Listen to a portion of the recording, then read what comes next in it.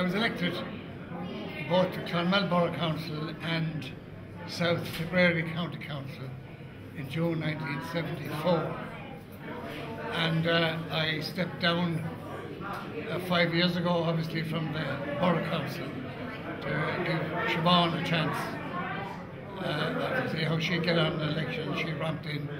So then I stood down this time in June from the County Council and I left it as chairman. I was chairman of Tipperary County Council last year. So I have the county development plan through all the essentials of Borderless down. I left it all with no loose ends, so to speak. Fianna Fáil is the most fascinating and always an interesting life. It's never boring. Something is always happening. I suppose the beauty of it is in its variety. You always have, you have people who will agree with things and, and uh, their friends disagree with the same things. So it's a marvellous organisation. Indeed, it's a way of life. certainly for me and for all of us, really.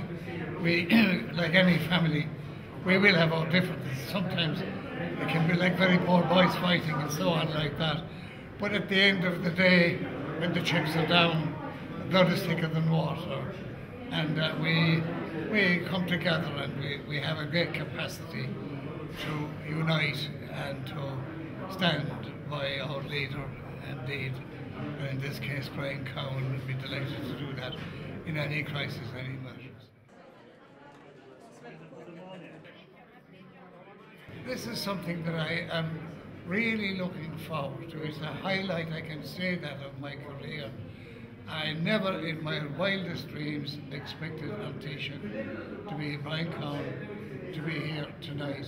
And for me, it's a most moving occasion and uh, his presence here tonight is a supreme honour for me, for my wife and for my family. Most of them are here tonight, any more My brother, the priest, is here tonight and uh, he travelled all the way from. And I just cannot believe the number of Shanadori, you know, all my friends, so many from past days who are here tonight. And really I'm looking forward to this occasion. It's wonderful to be part of the organisation and it's wonderful to have our leader here tonight. It's like the head of the family come home. Thank the people of Clonmel and the Clonmel electoral area for the trust that they've put in me down all those years and I hope that I have justified that trust.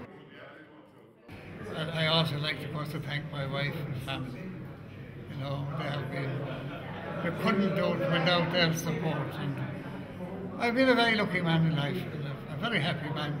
I'm very grateful to so many people.